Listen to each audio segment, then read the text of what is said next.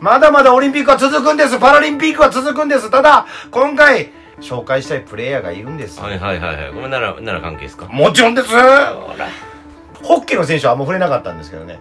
あー、ホッケーに向いてる。ホッケーにも言ってたんですけど、今回ちょっと僕らいつも1週間ずつでこう変えてるんで、はいはい。まあ、ホッケーもす頑張ってくれました。ありがとうございました。感動ありがとうまずこれだけ言うときます。ね。こホッホッケって聞こえるんよな。なんでお前俺、その魚類の話せなあかんねん。合うか。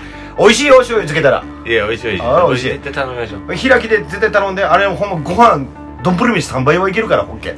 ちゃうの？あ、ごめんなさいごめんなさい。ホッケホッケーね。ー。ん？まあ、ええわ。ホッケーありがとうございました。これでいいんです、もう。感動ありがとうね感動ありがとう。あの、ただ、今回注目したいのはね、そこじゃないんです。ごめんなさい、ホッケーの選手。で、言いますから、今から。あの、今回最後に注目してくる選手を言いますから。はい。今から、今やからめときますか？今回は。いや、もう言ってください。隠しで、隠しで5分間喋りますか？大丈夫です。もう、ここ、今始まったばっかりだと思うんで。いざ、あのー始まれば。3人制のストリートバスケ。三人制ストリートバスケ。はい。今回かへら新しく新種目になりましたあ、。そうなんや。はい。オリンピック種目に。選ばれちゃったんです。あ本来始まりはじゃあ何なのって言ったら、うんまあ、アメやっぱアメリあ。カが。主なんですけど、はまあ、公園とか、い。うん。なんかあの、普通に路上とかで遊びの延長としてプレイしていたのが始まりなんです。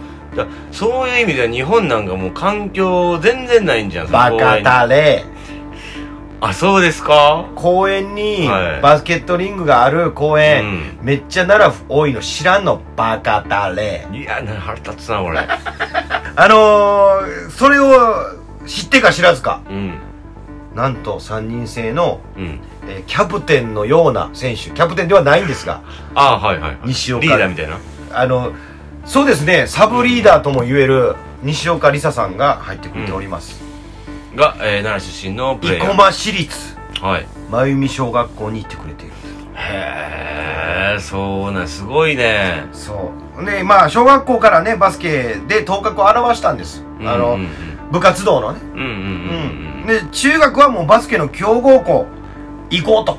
うん大阪のあ学校行ってくれたりしてくれてるんですけどね。うん。うんうんでそこでジュニアオールスターにも出場したりとか。うん。うんもう数々あります。あの、うんプロフィール言えば、高校ではインターハイ上位、年代別日本代表にも選ばれたり、うんうんうんうんそして高卒でプロになる。うん。うんお、すごい。そうなんです。そっから、一点、うん。2019年23歳以下のワールドカップで日本代表として優勝。うん。これこっから皮切りにストリートバスケにのめりのめり込んでいく。あ、こっからなんや。そして、新種目になった東京オリンピックに出場するんです。うんうんうんうん。すごいんですよ。しかもね、可愛らしいんですよ。あ、そうなんや。本当に、やっぱ、あの、プライベートの時の、うん。うん感じ僕知らないんですけど想像するなら多分パフェが大好きなような本当に可愛らしい女子やと思うんですよあ、そう。勝手に想像ですけどうんただプレー中は違いますあ、そうやろね。そう違うやろね。迫力がありみんなを盛り上げるプレイヤーうーん。特徴がね。中心、中心人物やね。あのサブリーダーですから。うん、そうやな。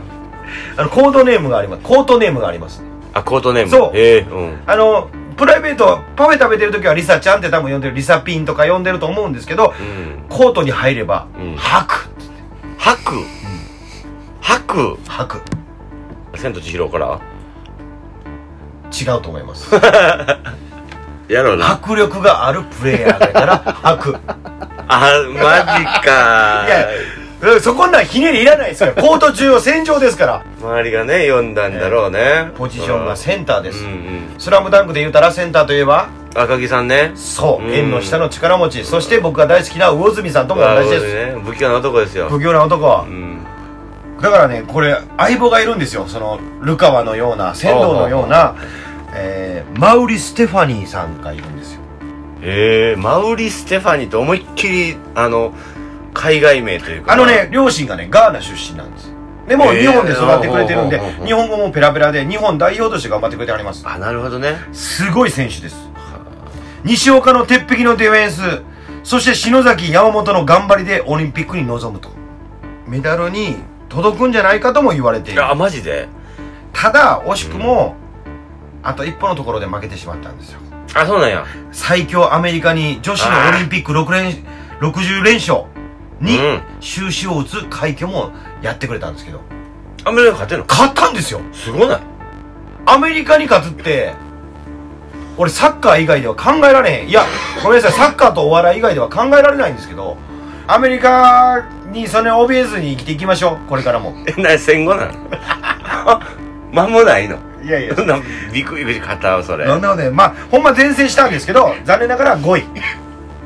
なるほど。あと一歩やったんです。ああそうなんや。でもね安心してください。まだ成熟してないですこのメンバー。もう引退とかのところじゃないんで多分パリの時にはパリの舞台ではメダルを取るんじゃないかと言われてます。なるほどね。若い人だってみんなやっぱり。若若いです。みんな可愛いです。うん。ほんまに。みんな可愛いなそしてあの佐々木 D からねまた新しい情報くれました、なんか？小さい頃から背が高くうん。小学生の時はラウンドセルが入らなくなったと。どうしたんですか？そんな字汚いの？何をそんな噛みまくランドセルが入らなくなった、うん。なったりのところで電車で止められたりした経験っていうから電車で止められるって何と思ったから。言うてんの？え何言ってんのうちの D ももうひどい。よひどい。何これ？電首車首やでこんな経は。験を持つくらい背が伸びる。この情報何これ？いちいちいらんかったよこれ。まあただやっぱり家系がすごいっていうのは言ああうときます、まあまあまあそういうこと。ね父は元ヤクルトのプロ野球選手のヤクルトの投手だったと。えはい。最後一言言っていいですか？声揃えて言ってください,、はいはいはいはい。オリンピックへの気持ち。あはい。もう同じ気持ちになってると思います。あいきますよ、はい。321はい、吐く頑張れー頑張れ日本。日本。いや拍手おかしいやろ。